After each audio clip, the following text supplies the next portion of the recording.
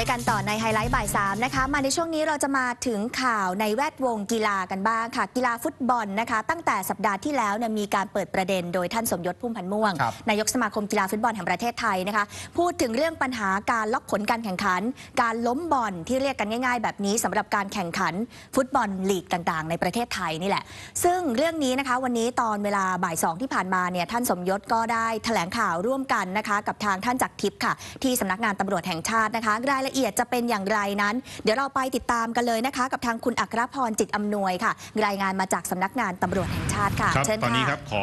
นำทุกท่านมาที่สำนักงานตำรวจแห่งชาตินะครับ โดยวันนี้ครับเป็นการแถลงข่าวต้องบอกว่าเป็นคดีประวัติศาสตร์เกี่ยวกับวงการกีฬาฟุตบอลไทยเลยก็ได้ก็ว่าได้นะครับ โดยวันนี้ครับเป็นการแถลงข่าวการจับกลุ่มนะครับ การล็อกผลบอลในฟุตบอลไทยลีกนะครับ โดยวันนี้ครับเริ่มด้วยการที่แถลงข่าวครับ พลตำรวจเอกสมยศพุ่มพันธ์ม่วงนะครับนายกสมาคมกีฬาฟุตบอลแห่งประเทศไทยนะครับร่วมกับพลตำรวจเอกจักรทิพย์ชัยจินดานะครับ ผู้บัญชาการตำรวจแห่งชาตินะครับ ก็ร่วมกันแถลงในครั้งนี้นะครับ โดยเป็นที่เปิดเผยแล้วว่า ในตอนนี้ครับในฤดูกาลที่ผ่านมานะครับ มีการล็อกผลบอลนะครับ ซึ่งสามารถจับกลุ่มผู้ต้องหาได้ 12 คนนะครับ โดย 12 คนที่เกี่ยวข้องนะครับ ก็แบ่งเป็นนักฟุตบอลไทย 5 รายนะครับ เป็นจากสโมสร ราชนาวีเนี่ย4คนนะครับ ก็คือสุทธิพงษ์เหลาพรนะครับณรงค์ วงษ์ทองคำนะครับสุวิทยานำสินหลากนะครับ แล้วก็เสกสรรชาวทองหลาง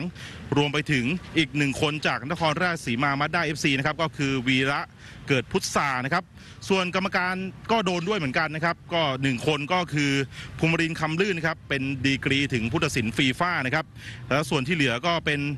ผู้ว่าจ้างนะครับนายทุนต่างๆนะครับก็มีอยู่ 4 รายด้วยกันรวมถึงระดับผู้อำนวยการสโมสรอย่างสโมสรศรีสะเกษยูไนเต็ดนะครับก็คุณเชิดศักดิ์บุญชูเนี่ยก็ติดร่างแหไปด้วยนะครับในคดีนี้นะครับซึ่งจากการแถลงครับ ทางด้านพลตำรวจเอกสมยศพุ่มพันธุ์ม่วงนะครับ ก็บอกว่าทั้ง 12 คนครับตอนนี้ได้ขอประกันตัวออกไปใน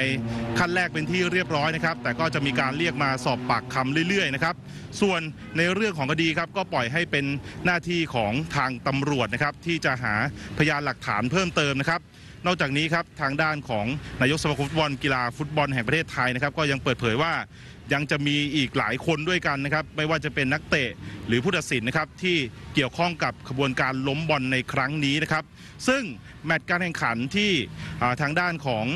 Sportradar ซึ่งเป็นบริษัทที่ทางสมาคมฟุตบอลเนี่ยจ้างมาดูแลในเรื่องของการล็อกผลบอลหรือว่า ความผิดปกติต่างๆครับในการแข่งขันนะครับ ก็มีอยู่ 5 แมตช์หลักๆครับตอนนี้ที่ได้ทำการเปิดเผยออกมานะครับ ซึ่งก็มีระบุวันเวลาชัดเจนครับ แต่ไม่มีการระบุคู่การแข่งขันนะครับ ว่าเป็นใครเจอใคร ซึ่งก็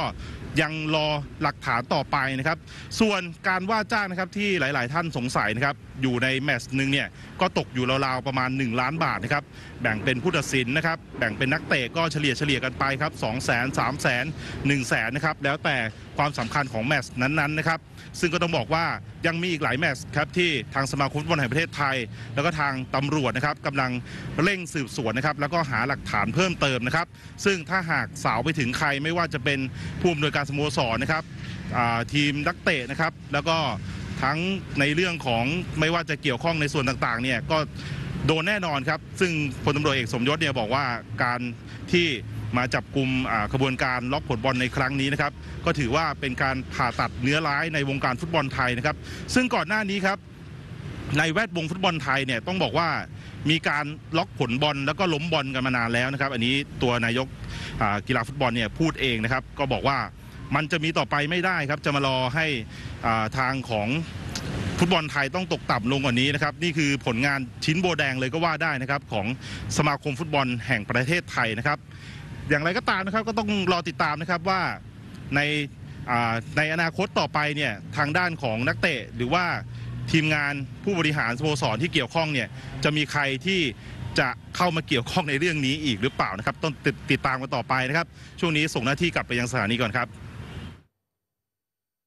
ขอบคุณคุณอัครพรนะคะ นี่เป็นความคืบหน้าค่ะ เพราะว่าอ่าทางสำนักงานตำรวจแห่งชาติที่เป็นสถานที่ในการจัดงานแถลงข่าววันนี้ก็เสร็จสิ้นกันไปนะคะ เริ่มประมาณบ่ายสองแล้วก็เสร็จสิ้นการแถลงข่าวไปก่อนที่เราจะเริ่มรายการนี้เอง ใช่ครับก็ต้องบอกว่าเรื่องของการล้มบอลที่เกิดขึ้นครั้งนี้อย่างที่คุณอัครพรบอกว่าถ้าจะเป็นคดีประวัติศาสตร์เลย เราอาจจะได้ยินกันมาบ่อยค่ะแต่ไม่ค่อยจะเห็นบรรยากาศการเอาจริงเอาจังแล้วก็การออกมาแถลงข่าวขนาดนี้นะครับค่ะถ้าเกิดว่าไปดูผลที่ตามมานอกเหนือจากผลทางกฎหมายแล้ว ที่แน่เลยคือทางสโมสรฟุตบอล แล้วก็ผู้เกี่ยวข้องเนี่ยอาจจะต้องถูกแบนในการเข้าร่วมการแข่งขัน แล้วก็มีการปรับเงินโดยสมาคมด้วยนะครับรวมทั้งอาจจะส่งผลต่อความน่าเชื่อถือ ของวงการฟุตบอลอาชีพไทยที่แน่คือส่งผลต่อการแข่งขันในรายการของสมาพันธ์ฟุตบอลแห่งเอเชีย หรือว่า AFT AFC ที่ไทยเป็นสมาชิกด้วยค่ะถ้าเกิดว่าไปดูตัวบทกฎหมายอืมในเรื่องของการล็อกผลการแข่งขันนะคะ ในทางกฎหมายเนี่ยแน่นอนว่ามีเรื่องของการพนันเข้ามาเกี่ยวข้องด้วยค่ะ ก็จะมีความผิดตามพระราชบัญญัติ หรือพรบการพนันพศ 2478 นะคะ นอกจากนี้ค่ะก็ยังเข้าข่ายความผิดตามพระราชบัญญัติส่งเสริมกีฬาอาชีพ พศ 2556 ด้วยนะคะ โดยเฉพาะมาตรา 64 ระบุไว้ว่าผู้ใดให้หรือขอให้ หรือรับว่าจะให้ทรัพย์สิน หรือประโยชน์อื่นใดแก่นักกีฬาอาชีพ หรือผู้อื่น เพื่อจูงใจให้นักกีฬาอาชีพกระททำการล้มกีฬา ต้องระวังโทษจำคุกไม่เกิน 5 ปี หรือปรับตั้งแต่ 2 0 0 0 0 0ถึง 5 0 0 0 0 0 บาท หรือ 2 0 0 0 0 ถึง 5 ล้านบาทนะคะหรือว่าทั้งจำทั้งปรับค่ะขณะที่มาตรา 67 ตามพรบส่งเสริมกีฬาอาชีพระบุนะครับว่า ผู้ใดผู้ตัดสินใดเรียก รับหรือยอมจะรับทรัพย์สิน หรือว่าประโยชน์อื่นใดสำหรับตนเองหรือผู้อื่น เพื่อทำหน้าที่ตัดสินไม่เป็นไปตามระเบียบ หรือว่ากติกาการแข่งขัน หรือทำหน้าที่ตัดสินอย่างไม่ถูกต้องเที่ยงธรรมต้องระวังโทษจำคุกตั้งแต่1ถึง10 ปี หรือปรับตั้งแต่ 3 0 0แสนถึง6 0แสนบาท หรือทั้งจำทั้งปรับครับค่ะสำหรับเมื่อสักครู่มาตรา 64 นะคะ ที่บอกโทษปรับเนี่ยเป็นตั้งแต่ 2 0 0 0 0 0ถึง 5 0 0 0 0 0บาท หรือว่าทั้งจำทั้งปรับนะคะครับอันนี้เป็นความผิดตามมาตราทั้ง 2 มาตราที่นำมาฝากคุณผู้ชมกันค่ะ แต่อย่างที่ทางคุณอัครพรรายงานไปว่า การล้มบอลเนี่ยมูลค่ามหาศาลนะ เพราะว่าแมตชหนึ่งนี่ก็เป็นหลักล้านใช่ครับ แบ่งกันไปตามผู้ที่มีส่วนเกี่ยวข้องทั้งหมด ครับเอาละครับเดี๋ยวช่วงนี้เราไปพักกันก่อนครู่เดียวนะครับ ช่วงหน้ากลับมา